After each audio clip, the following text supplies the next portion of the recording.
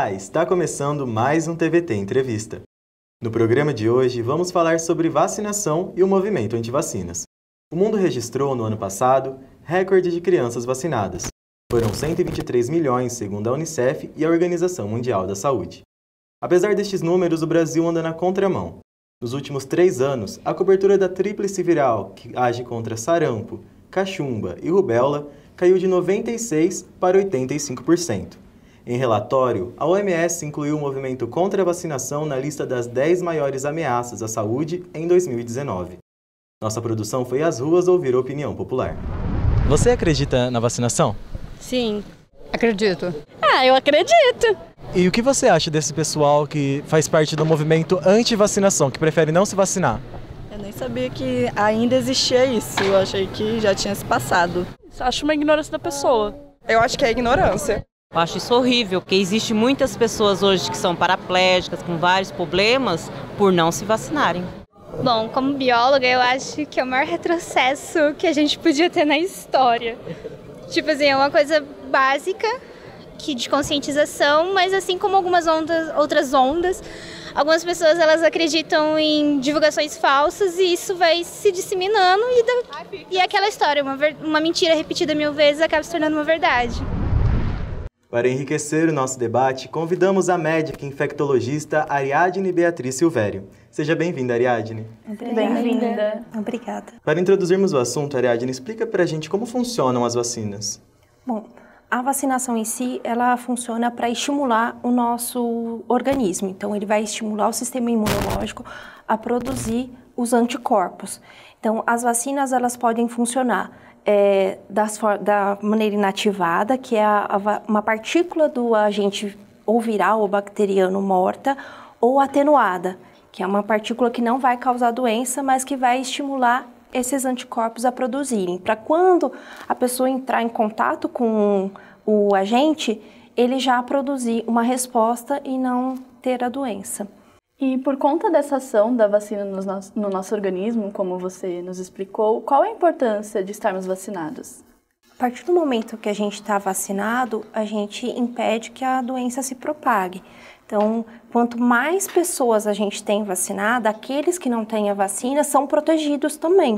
Então, se a gente tem uma diminuição da cobertura, essas pessoas vão, não vão ter essa proteção. Então, quando eu tiver uma pessoa exposta, é, os, uma pessoa doente, essas pessoas vão acabar se tornando doentes também. E lembrar que a maioria das doenças que são é, preveníveis por vacina são o contágio é por contato, ou por objetos, ou por pessoa a pessoa. Então, que é uma forma simples de se contrair a doença. Tendo em vista tamanha importância, por que índices de vacinação têm caído? É, ultimamente a gente está vendo que muito, é, muitas não só uma vacina, mas várias vacinas vêm diminuindo. É, eu, na minha opinião, muito é pela desinformação. Às vezes a pessoa, embora a gente tenha uma facilidade enorme com o auxílio da internet tudo, às vezes as pessoas não veem a veracidade da, daquela informação e acaba se propagando uma informação errônea é, com, com base nisso. Os, os movimentos antivacinais falam muito disso, né? Que às vezes eles usam artigos que não são é, prov com provas científicas para introduzirem é, uma informação e isso acaba se propagando, né?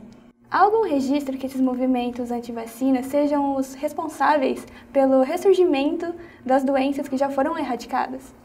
Cientificamente, a gente não pode falar que sejam responsáveis, mas o marco todo foi um artigo que foi publicado numa revista científica é, de grande nome por um ex-médico britânico em 1998 e ele afirmava que a tríplice viral, que é uma vacina que combate sarampo, cachumba e rubéola, causava o autismo.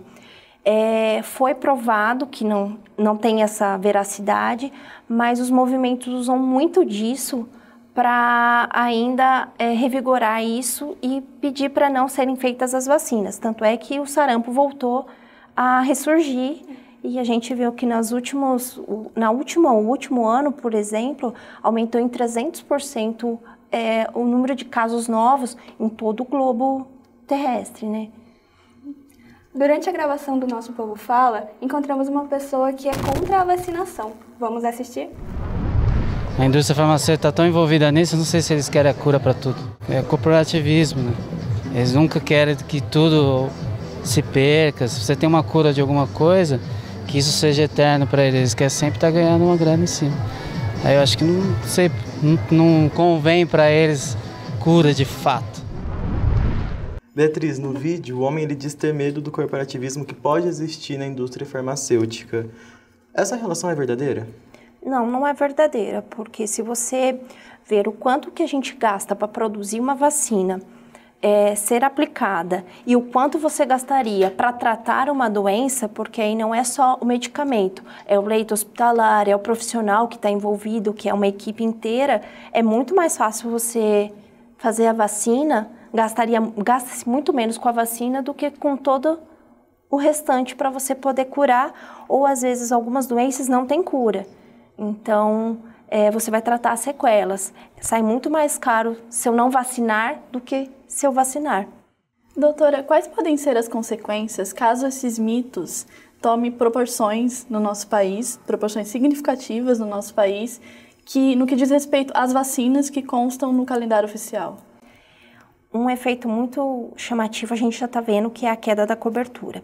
A partir do momento que você tem a diminuição da cobertura, a gente vai perdendo o que a gente chama de imunidade de rebanho. Então, aqueles que não têm, às vezes, não podem se vacinar, como pessoas que sofreram transplante, ou pessoas que convivem com HIV, ou às vezes crianças que ainda não têm a idade correta para fazer aquela vacina, eles estão expostos. E aí eu vou ter um número de suscetíveis muito grandes a partir do momento que eu tenho um número de suscetíveis e eu tenho uma pessoa que ela é, é portador, ela pode transmitir e eu tenho a doença.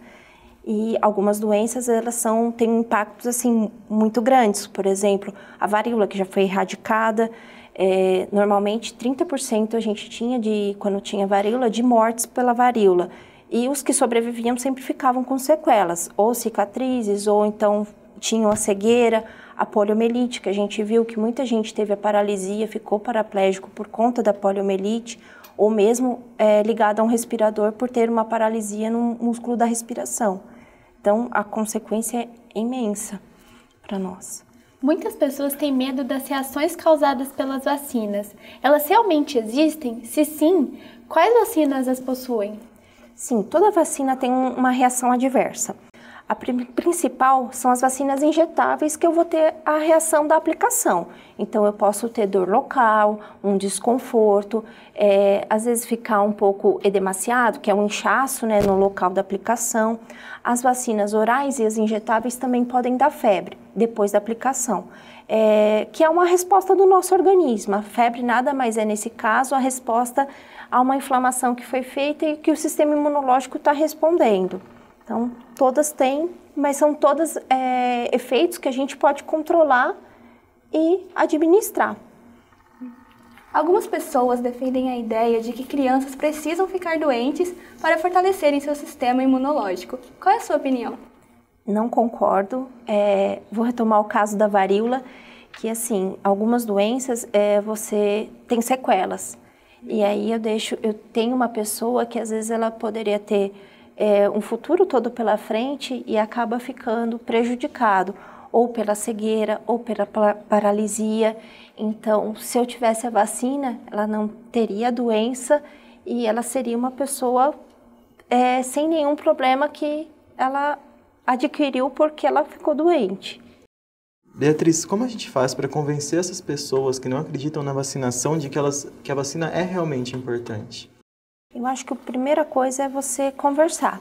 Então, parte dos, dos profissionais de saúde, que é o que mais são os profissionais que estão mais ligados a, a essas pessoas, e o sistema de informação. Daí por diante, informar qual é a importância da vacina, porque a nossa geração foi uma geração que não viu muito dos desastres que a era antes da vacina tinha. Então, é, as vacinas começaram com o Programa de Nacional de Vacinas em 73. Então, a partir daí, a gente veio melhorando, veio diminuindo a, as mortes, as sequelas. Então, parte desses profissionais informarem, orientarem e conversarem, porque a vacina não é só um ato de responsabilidade, mas ela é um ato de amor, não só com a pessoa, a família ou a comunidade em si. Doutora, trazendo uma informação de serviço aqui, onde as pessoas podem achar, encontrar essas vacinas de forma gratuita, essas vacinas que constam no calendário oficial? Atualmente, nosso calendário vacinal, ele consta como 27 vacinas que são oferecidas ao público, todas gratuitas e todas, a grande maioria, em unidades básicas de saúde. Algumas são especiais, mas são fornecidas pelo Centro de Biológicos Especiais à unidade de básica de saúde. Então, todas elas são encontradas nas unidades básicas de saúde, de segunda a sexta-feira, das 7 da manhã até as 4 da tarde. Beatriz, qual é a relação do governo com a divulgação da informação sobre a vacinação? Como é feito? A, a divulgação da campanha ela é acessível para todos? Normalmente, sim. É, as, as campanhas estão em, em, mídias sociais, então estão na mídia, estão nas redes sociais.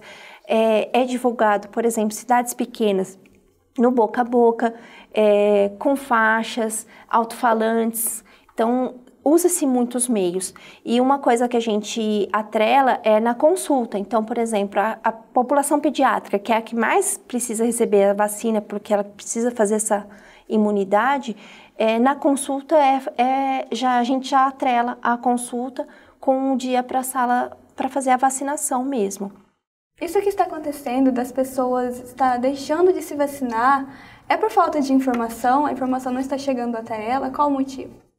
Muito é esclarecendo. Eu acho que conversando, orientando e vendo qual é o medo da população. Então, a partir do momento que o profissional de saúde ele é bem informado e ele tem uma relação boa com o seu paciente, com o seu é, com o cliente que está ali, ele pode informar e desmistificar o, qual é o problema que a pessoa não está indo vacinar.